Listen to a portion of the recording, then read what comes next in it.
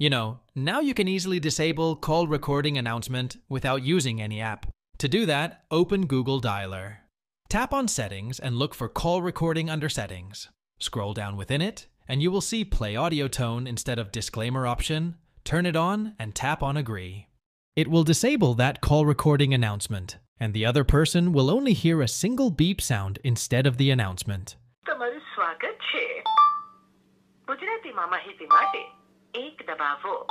If you don't see any option under settings, then you can download the APK and install it in your phone. It will enable that option on your phone. Link will be available in pinned comment. I hope you liked this video. If you liked the video, don't forget to hit the like button and subscribe for more such videos.